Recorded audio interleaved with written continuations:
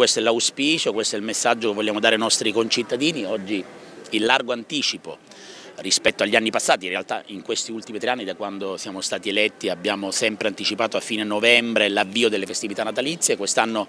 abbiamo voluto continuare questa tradizione e la consapevolezza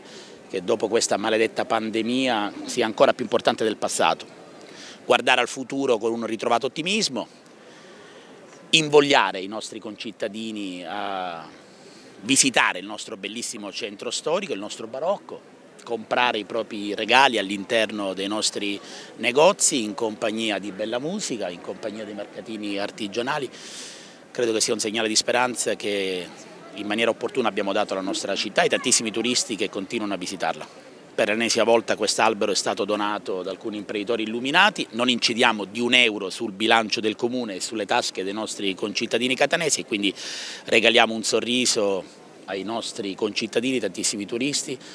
di cui abbiamo tutti profondamente bisogno. Grazie alla sinergia con la FCE, con la MTS, grazie a questo biglietto unico da 15 euro per tutto il periodo natalizio, utilizzando anche i parcheggi scambiatori, grazie alla metropolitana che sarà aperta il sabato e la domenica fino alle 24, cosa mai accaduta, invogliando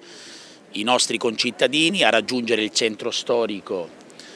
grazie alla metropolitana, senza inquinare, senza determinare caos aggiuntivo, consumando le proprie scene all'interno dei locali del centro storico. Un bel messaggio di ripresa che vogliamo dare ai nostri concittadini.